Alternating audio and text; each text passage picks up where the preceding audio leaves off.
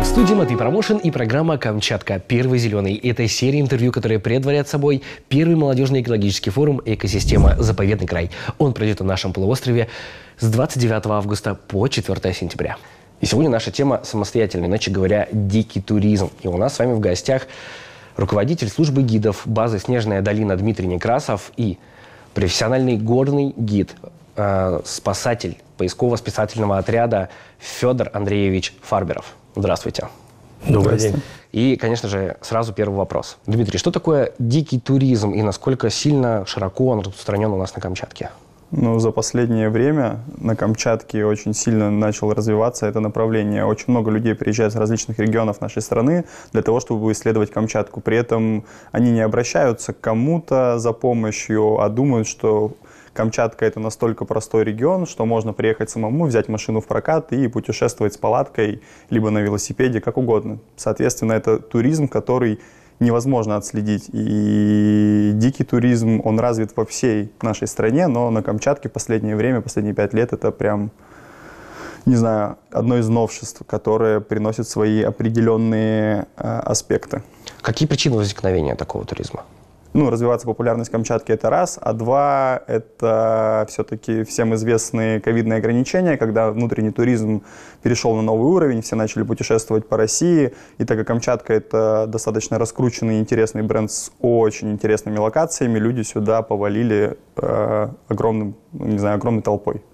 Помимо пользы того, что Камчатка популяризируется в более широких кругах, какой вред наносит такой туризм?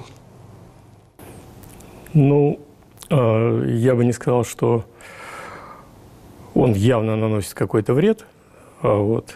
А, но как любой туризм, вот, надо понимать, что если туризм не организованный, который люди так сказать, делают самостоятельно, Люди могут попадать в, в различные, скажем, потенциально опасные ситуации. Вот. Ну и, скажем так, не всегда соблюдают э, меры охраны природы. Вот. Хотя к организованному туризму это относится также в полной мере. То есть я не могу сказать, что дикий туризм хуже, чем организованный. Скорее наоборот, на мой взгляд. Какие опасности ожидают э, диких туристов у нас на Камчатке? Ну, опасностей э, довольно много, их можно там по-разному э, классифицировать. Э, одна из первых опасностей, которую очень многие приезжающие сюда недооценивают, это опасность нашего климата.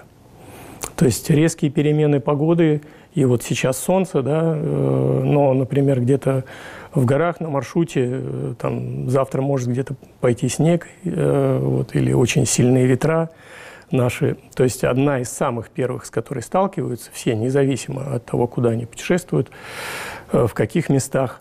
Это очень часто, поскольку люди э, зачастую недооценивают эти опасности, они не имеют адекватного снаряжения для того, чтобы с этими опасностями иметь дело.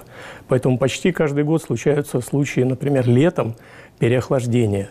Да, и даже были случаи гибели от переохлаждения летом туристов на Камчатке. А вот. А другая опасность, которая э, на очень многих маршрутах случается, и одна из самых главных, это то, что все наши э, горы э, это вулканы в основном. Да, они сложены рыхлыми породами, то есть камнепады. А вот. Опасность камнепадов, причем камнепадов как таких, которые сходят просто сами по себе по природным причинам, так и таких, которые люди сбрасывают друг на друга голову э, камни, да? когда большая группа идет, и сверху прилетают камни. Вот. Также есть э, опасность встречи с медведем.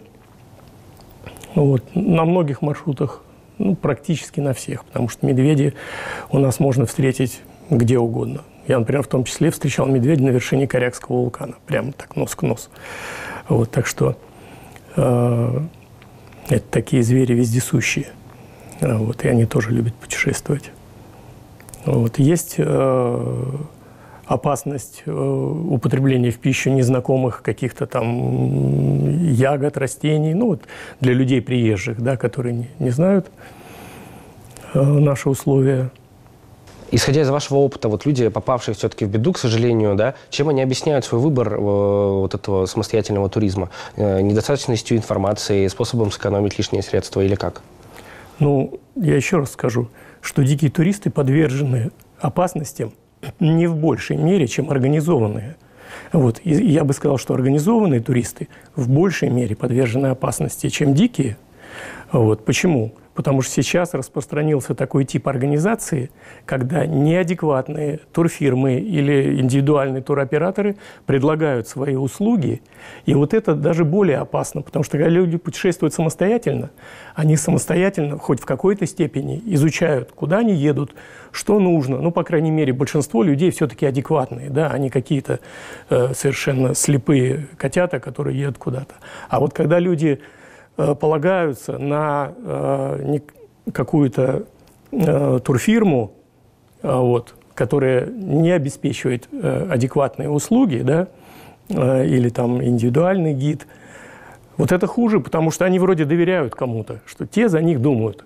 Вот. И с такими группами, э, ну, я не, не могу сказать точно вот прямо всю статистику, э, но происшествий даже больше. Значит, у местных э, турфирм присутствует э, недостаток, да, некий, э, низкая квалификация гидов. Что нам с этим делать, как этого избежать? Все гиды, которые пытаются развиваться, они должны закончить определенные курсы. В России есть известная всем школа Ассоциация горных гидов. Это очень хороший, не знаю, очень хороший институт, в котором дают тебе, закладывают очень хорошие знания. Но перед этим можно пройти огромнейшее количество курсов и различных э, горных школ для того, чтобы ты понимал, к чему ты стремишься. Нельзя просто взять, купить себе машину, поставить на нее большие колеса и сказать «я гид, поехали со мной». Вот как раз-таки это проблема, которую освещал Федор. А, и что мы можем сделать, это, ну, естественно, развивать это направление, направление нашего гидовского движения, создавать какую-то общую школу, общую базу для того, чтобы человек, приезжающий на Камчатку, мог зайти на определенный сайт, посмотреть, с кем он работает, какая у него классификация, кем он может быть, что он может делать и может ли он ему доверять. Очень много людей, которые предлагают услуги вот такие, знаете, по интернету собирается группа там, причем, как правило, очень большая, совершенно э, разношерстная, разный уровень подготовки, какой-то колоссальный диапазон возраста, там, от 10 до 80 лет, например, да, и в одной группе эти э, люди ведутся. То есть отсутствие профессионалов, гидов – это серьезная проблема, ну, как бы общероссийского масштаба. Помимо возможного вреда себе, а, не кажется ли вам, что дикий самостоятельный туризм наносит э, больше вред природе, чем организованный, исходя из вашего опыта? Я так не думаю. Почему? Потому что организованных групп, э, именно организованных в самом общем плане, то есть а, а, организованные могут быть как очень такими грамотными, качественными турфирмами, как вот «Снежная долина», например, да, или организованы вот такими вот туроператорами, которые по интернету собирают, это же организованные группы. Вот. Их больше, просто физически их больше. Вот. А, но они все-таки больше поддаются контролю, вот. И сейчас ну, все больше и больше как-то э, стараются вести себя адекватно. Ну, то есть антропогенная нагрузка на природу меньше э, с диким туризмом, потому что группы меньше. Но какие все равно рекомендации вы дадите э, людям, выбравшим э, самостоятельный туризм для путешествий, чтобы не навредить и, и себе, и природе? Ну, любое путешествие начинается с подготовки. И поэтому, вот, если собрались люди самостоятельно путешествовать по Камчатке, надо максимально изучить да, маршрут, условия, адекватно подготовиться и по снаряжению, в том числе э, настоятельно рекомендую обращаться вот э, к нам в спасотряд, можно получить консультацию. Также изучать официальную информацию, которую распространяют э, наши органы, там, как Министерство туризма и так далее, связанные вот, э, с экологическими вопросами, то есть где можно ставить лагеря, да, как правильно это делать, да, чтобы не навредить э, природе, куда можно ездить, куда нельзя. Э, вот. И тогда, в общем-то, э, все будет нормально. Если обращаетесь, вот это, пожалуй, все-таки самый главный момент с безопасностью, вот насколько я могу судить, если люди обращаются к кому-то, да, вот э, какая-то турфирма там, или индивидуальный предприниматель, да, там гид рекламирует путешествие на Камчатке, очень внимательно ознакомьтесь, э, так сказать, со всем, что вы можете найти об этой турфирме, об этом человеке, отзывы и так далее. Потому что есть люди, которые из года в год совершают, знаете, там наступают на очень серьезные грабли, да, туристы пишут какие-то жуткие э, рекламации, страшные истории в интернете печатаются, и тем не менее на следующий год опять этот человек приезжает и набирает, то есть такое ощущение, что как бы э, люди не читают. А вот. Добавить словам Федора еще могу то, что сейчас очень серьезно ведется работа по ознакомлению гостей нашего полуострова с как раз-таки с теми самыми запретными там, территориями для установки лагеря, разведения костров. Сейчас все больше и больше технологий направлено на то, чтобы не использовать дрова, которые у нас э, наносят существенный вред нашей экологии за счет того, что это выжигается какая-то очередная площадочка почвы, люди приходят туда, не хотят там же жечь, им хочется в соседнем месте, потихоньку, потихоньку, потихоньку это пятно увеличивается.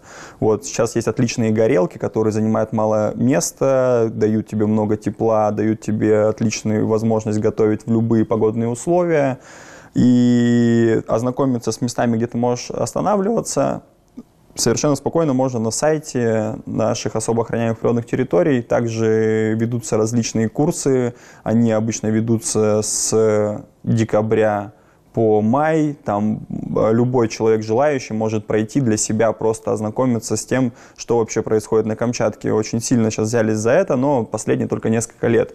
И, например, в данном, э, в этом году несколько курсов было там проведено, в том числе я в них участвовал, это защитниками природы, ребята, которые сертифицируют гидов и экскурсоводов по особо охраняемым природным территориям, но там очень большой базе знаний именно про экологию Камчатки и, в принципе, ближайшие. То есть это Курилы, это Командорские острова и есть такие курсы, как э, гидов-проводников.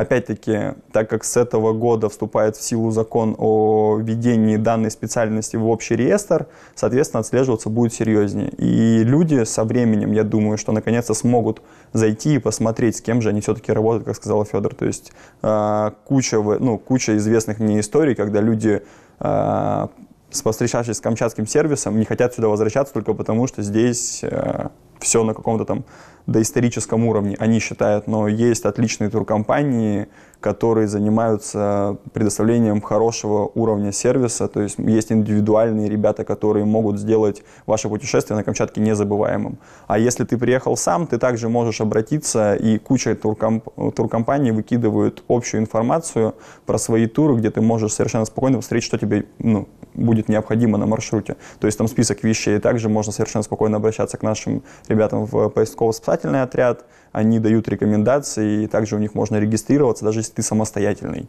То есть это сейчас поставлено на какой-то новый уровень. Раньше это было действительно сложно, нужно было пройти там кучу этапов для регистрации. Сейчас это все упрощено за счет того, что, опять-таки, на Камчатка это становится именитым брендом, к которому люди тянутся для того, чтобы путешествовать по Дажиному краю. И если мы хотим все-таки видеть на Камчатке адекватных людей, мы должны адекватно предоставлять услуги.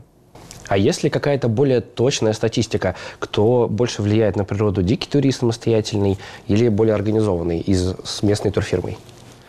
Ну, э, разумеется, если люди пользуются услугами местной турфирмы, э, ну, имеющей какой-то более-менее адекватный опыт, то там уже люди понимают, что они делают. Вот. И э, люди, которые путешествуют самостоятельно, конечно, они в меньшей степени как сказать, э, ну, часто ведут себя не так ответственно. И, на мой взгляд, безусловные лидеры здесь – это наши местные жители, не приезжие, потому что так, как относятся на Камчатке местные жители к своей собственной природе, это просто безобразие. К сожалению, э, наши жители именно вот в путешествии там, выходного дня и так далее очень часто ведут себя совершенно безобразно. То есть мусор, приезжие, кстати, гораздо больше и э, более трепетно относятся к природе Камчатки, независимо от того, дикие они или нет, потому что они попадают в совершенно удивительную природу. Для местных людей, э, к сожалению, э, это не так. И вот необходимость экологического воспитания прямо с детства, чтобы люди любили свой край – потому что никто так не портит наш край, как наши собственные жители Камчатки. И это я могу сто процентов сказать.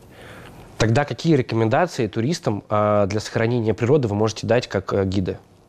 Ну, во-первых, это отслеживать то, что ты делаешь. То есть э, движение по различным местам э, сопровождается нанесением различного вреда. У нас есть очень много различных локаций на Камчатке, которые не защищены от э, воздействия человеческого фактора. И там сейчас ведется серьезная работа по прокладке тропы. Например, если ты движешься где-то по тундре, есть там тропа, не надо идти рядом и наслаждаться тем, что там травка чекочет тебе пяточки.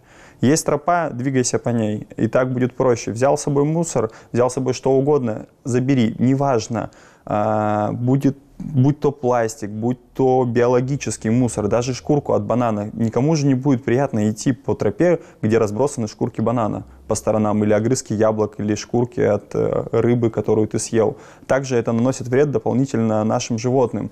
Второй э, фактор – это не кормите диких животных. А, моя, там, не знаю, моя просьба ко всем людям, которые путешествуют где-либо, это э, не желание кормить дикого животного. Ты увидел его, полюбовался, сфотографировал, не делай ошибку. То есть э, тем самым ты просто убьешь данное животное. Ну и, естественно, подходить осознанно к тому, что ты тому, чем ты пользуешься.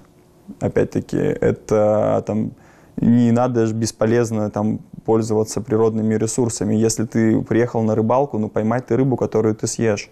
Не надо ловить ее там 10 хвостов, а потом выкидывать 8 из них. То, что мы берем сейчас от природы мы берем взаймы у наших детей. Если мы не сможем пользоваться, точнее, если мы будем пользоваться безответственно, то нашим детям не на что будет смотреть. Это, наверное, основной постулат, которым должны, должен каждый человек понимать, когда едет на Камчатку. Ну и, в принципе, путешествует по планете, по каким-то диким местам. Куда следует обратиться туристу, который все-таки решил по Камчатке путешествовать самостоятельно? Какие службы ему готовы помочь в этом? Ну, э, прежде всего, э, желательно зарегистрироваться в МЧС. Э, сейчас эта процедура несложная, то есть можно найти информацию на сайте. Там маршрутный лист надо заполнить. И главный смысл регистрации, тоже, чтобы люди понимали, она напрямую не влияет на возникновение несчастного случая. Вот. Но она, во-первых, в самом начале помогает человеку задуматься, когда он заполняет маршрутный лист, а все ли он знает, все ли у него есть, чтобы пройти маршрут. То есть это элемент подготовки уже, если человек осмысленно к этому относится. Следующий момент – это самый главный смысл регистрации, это то, что помогает нам, спасателям, э, быстрее и более адекватно отреагировать, если что-то уже случилось. То есть у нас уже есть информация о группе, нам не надо запрашивать, тратить время на какие-то дополнительные поиски информации. То есть это очень в этом плане Э, помогает. И если нужны консультации непосредственно по маршрутам, э, то можно обращаться к нам в Краевой поисково-спасательный отряд. У нас э, практически все спасатели имеют большой опыт путешествий по Камчатке и достаточно хорошо знают большинство маршрутов вот, и могут подсказать многие моменты, которые, скажем, люди могут не знать. Что ж, большое вам спасибо за заботу о гостях нашего полуострова. До новых встреч. Спасибо. Спасибо.